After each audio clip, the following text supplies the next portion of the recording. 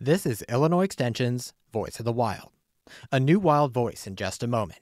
So find someplace quiet, take a deep breath, and enjoy.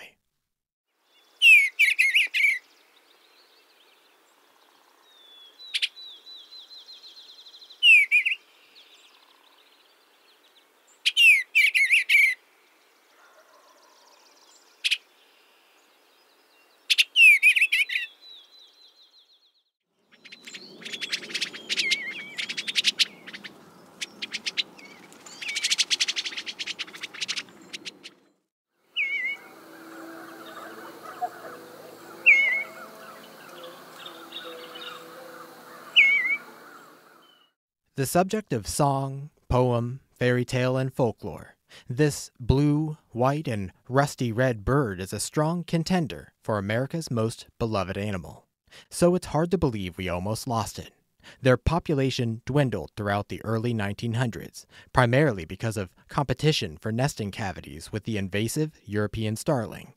Around the 1960s, folks started providing birdhouses with entrances just a little too small for the starling and place them along dedicated trails abutting appropriate habitat, scrubby meadows, and forest clearings. Combined with pesticide reform, that simple intervention led to the species' recovery. With their population now stable, they've become a symbol in yet another story, one that tells of the power of stewardship.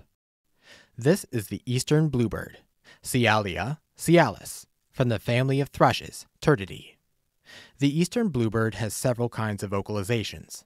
Two of them, its song and regular call, are given with the same breathy, melancholic voice. It also makes stuttering chit noises, and these can sound somewhat sparrow like. Here's the eastern bluebird again. Listen for the sparrow like chattering amongst its musical churs.